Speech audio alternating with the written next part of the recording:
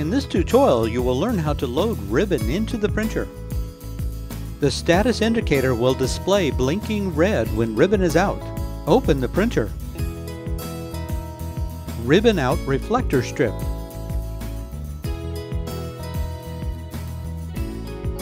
Remove the ribbon from the upper spindles. Remove the empty ribbon core from the lower spindles. Install the empty core on the upper spindles.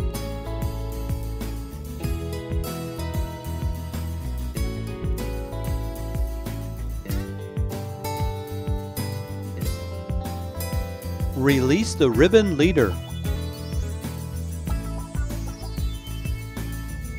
Install the ribbon on the lower spindles. Pull the ribbon leader up past the printhead and attach to the upper core. Wind the upper spindle towards the rear of the printer until the ribbon reaches the core.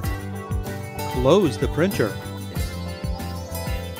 Press the feed button two or three times to properly tension the ribbon.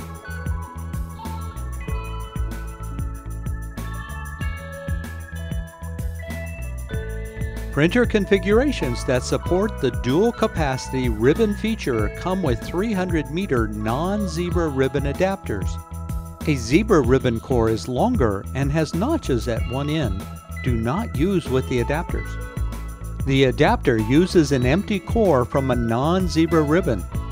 Insert the non-zebra ribbon core onto the adapter.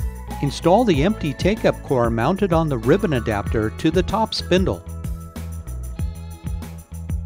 Insert the non-zebra ribbon onto the adapter with the open end on the left and the leader opening on the back side. Install the supply ribbon mounted on the ribbon adapter onto the lower spindles.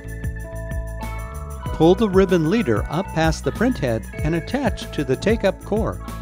Wind the upper spindle towards the rear of the printer until the ribbon reaches two to three times around the take-up core. Close the printer. Press the feed button two or three times to properly tension the ribbon.